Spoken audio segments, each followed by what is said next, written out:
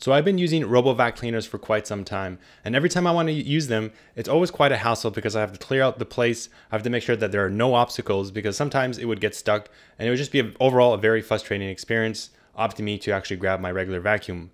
Finally, I can say that with the new S10 by 360, with its triple laser system, the sensors are so good that I no longer have to worry about this anymore. I can simply just talk to my assistant start the vacuum and it's to vacuum knowing that for sure it's not to get stuck, it's not to get tangled thanks to its really smart obstacle detection. Let's dive into more details with the S10 RoboVac to explain how this works with its new innovative features.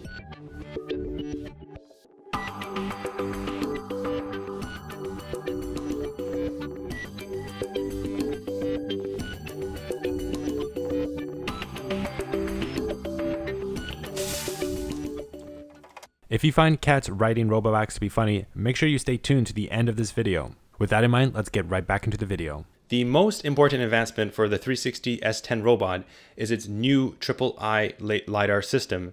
And the reason why this is so important is that it makes this system a lot slimmer in a vertical profile, allowing it to go under beds and sofas that it otherwise can't. The previous generations of RoboVac with LiDAR had this a very similar system, however, it would protrude out a little bit beyond the actual profile of the RoboVac, and it would be spinning 360, you know, obviously detecting the making a 3D scan of the area that's in.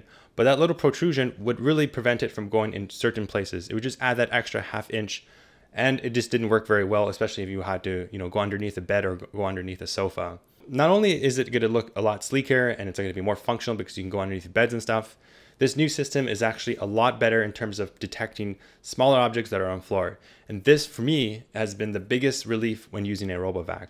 Not having to worry about getting up and then, you know, tidying up the entire place. Being able to just say, hey, start running the RoboVac with your voice assistant and then it can smartly detect little obstacles that are on the ground. Let's say, for example, we look in this footage over here, we're looking at some chairs, we're looking at some bed frames that are really thin, about half an inch from the floor. And on previous RoboVacs, they would always try to go over it, and it would really be kind of an annoying experience. They would get stuck, and then I have to go stop what I'm doing and go to the RoboVac and reposition it, for example. With the new 360 S10 robot, it never does that. It is really good. I'm just super impressed of how smoothly, how seamless the whole experience is. So the triple eye LiDAR system is probably the most important part of this video.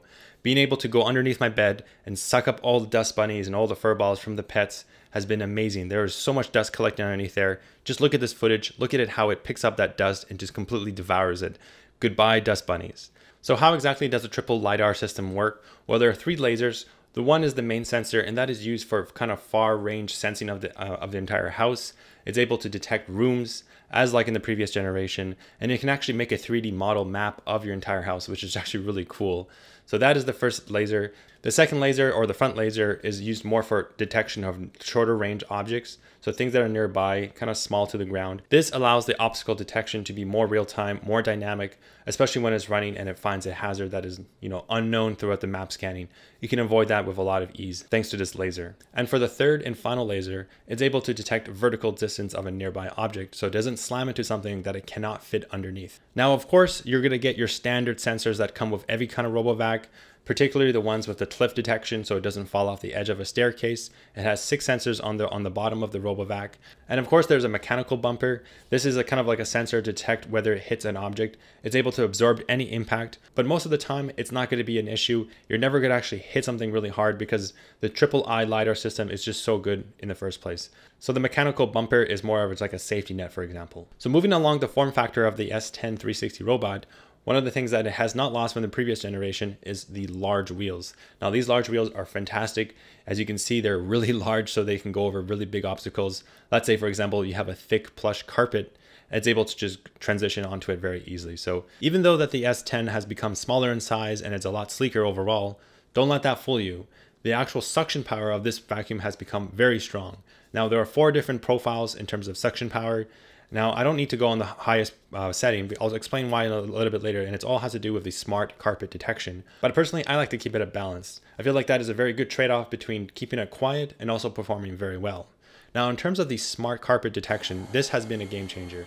So I don't need to run this RoboVac at 100% full power all the time. It's going to be really loud. It's going to run the battery very low when it's running on hardwood floor. It's just going to pick up some loose dirt and stuff like that. However, it automatically detects using ultrasonic sensors when it goes on, a, on an actual carpet. and it'll increase the suction power quite substantially. And this is this is really important, especially you have thick carpets in order to get all the dirt and grime out of it. This optimizes the performance of the vacuum and also optimizes battery so that you're not wasting it obviously when you're going on hardwood flooring. Now from my experience, the carpet detection has been 100% accurate. I'm very impressed of how well it works. Now sometimes it'll go over a little bump and it might detect it as a carpet, but that's just really temporary. It kind of just stops for a second. So the car carpet detection has been really accurate, and best of all, it actually records where the carpets are in your house. This becomes really handy in the future. By having all your carpet zones mapped out onto the map, the RoboVac can use that data to actually avoid it, let's say when it wants to do a mop. So this is really useful if you're going to be using the mop function. It's, it's going to completely avoid the carpet so you don't kind of mop over a carpet, which doesn't make sense at all. So speaking about the mop functionality of the S10, this has been a major improvement over the previous generation. Now, some previous RoboVacs I've tried, you know, they would have the canister of water and it would always leak, uh, especially if you kind of docked, docked it and didn't have the protection thing below it. It would kind of leak water onto the floor and that could potentially damage your hardwood flooring. I'm happy to report that this new RoboVac has a very good mechanism to hold water. So you can just keep it there all the time. You don't have to worry about it or whatever. And when it turns on and it starts mopping, it's going to slowly extract the water out and clean your floors. Now, I personally love the mop function. I have a lot of ants. I have an ant invasion in my house. And by using just a little bit of vinegar in the actual canister that holds all the water, kind of dilute it with some vinegar, it helps keep the ants at, bay because ants do not like vinegar. So I'm able to get 100% coverage of my entire house, keep the floors very clean. I have all these pets, you know, these dogs, these cats, they, they bring in all this dirt and mud into the floor. Being able to run the mop every, you know, three days, really helps keep the ants away and just keeps the floor look, you know, very spotless without any dust and, and whatnot. So like the battery, the canister can last for a very long time. I've had no problem vacuuming the entire house, mopping the entire house for about a 2,000 square foot house, which is pretty big, has only three bedrooms. So for tech gadgets like a RoboVac that I use daily, it's really the little things that really matter. As the expression says, the devil's in the details. And one of the things I really like about the new 360 uh, S10 robot is the new dust canister. So not only the size and the capacity of the dustbin has been improved, it also is a much bigger joy to use when you want to empty it into the garbage can. There's nothing more satisfying than taking your vacuum, putting the dustbin over the garbage and just pressing that button and just poof, all that stuff comes out. And it just feels really a cathartic, for example. So that's one of my favorite things to do every time I use this RoboVac, and it has become such a joy to use because it's just so easy to pull out that bin and kind of just empty it. In fact, even though the, the bin is larger and they say that you don't only need you only need to change it every two weeks, I love to do it every day. Honestly, I think doing it every day and cleaning your vacuum is really going to optimize the performance of it. And cleaning the fine filters is also really easy. You just need to wash it with a little bit of water and let it dry. Dustbin returned.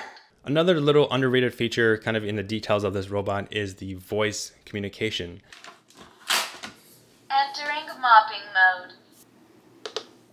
Cleaning makes me happy. Now, now it sounds a little corny when it, you know, every time you turn it on, it says like cleaning makes me happy, for example.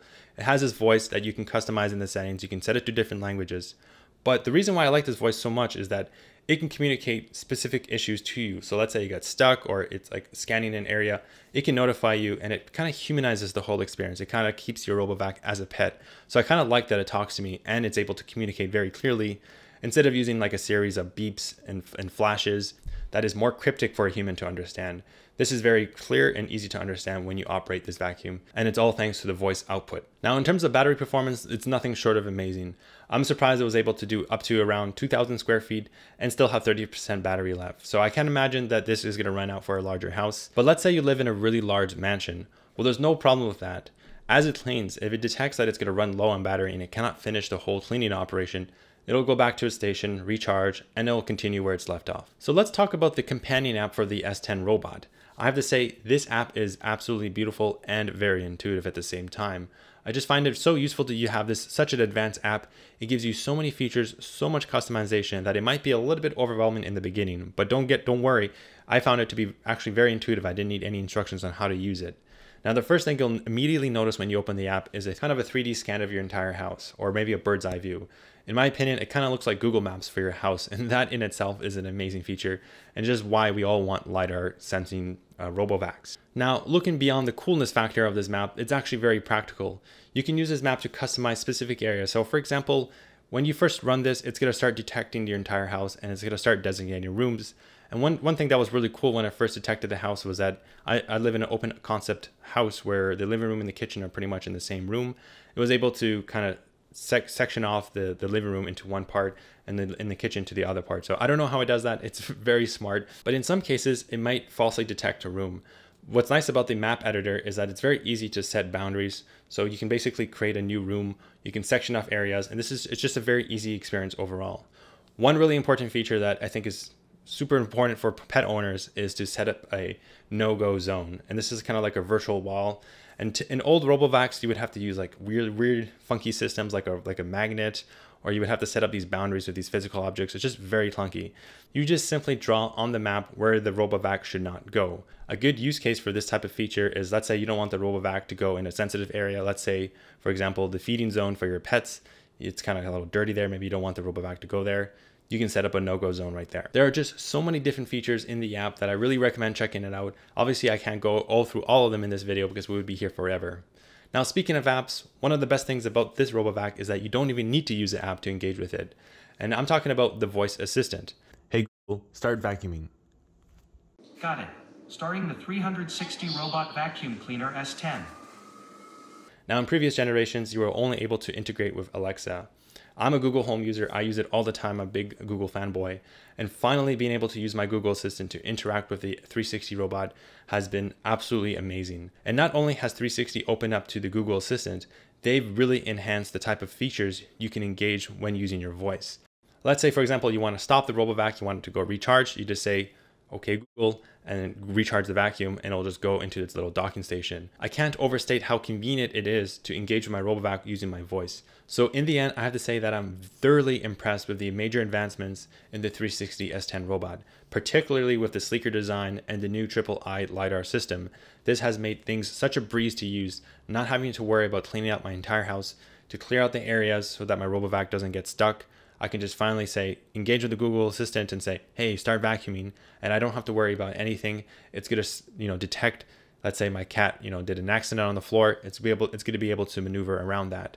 The second biggest thing is obviously the sleeker profile. Finally being able to go underneath my sofa or my bed and collect all the dust bunnies. There's just so much dirt under built underneath my bed that I'm just so happy to have it finally gone go away. I am truly impressed that 360 can jam all these sensors, all this new technology into a slimmer profile and just make the overall user experience way better.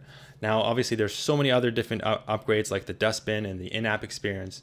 There's just so many good things about this RoboVac. Anyways, that's it for this video. Thanks for watching. If you have any questions or comments about the RoboVac, please let me know in the comment section down below. And this video helped you anyway, please do give a like. It really helps the channel. And I will see you in the next video. Oh, no, no, no, no. We all know that cats rule the internet, and this video would not be complete if there wasn't a montage of cats playing with this RoboVac.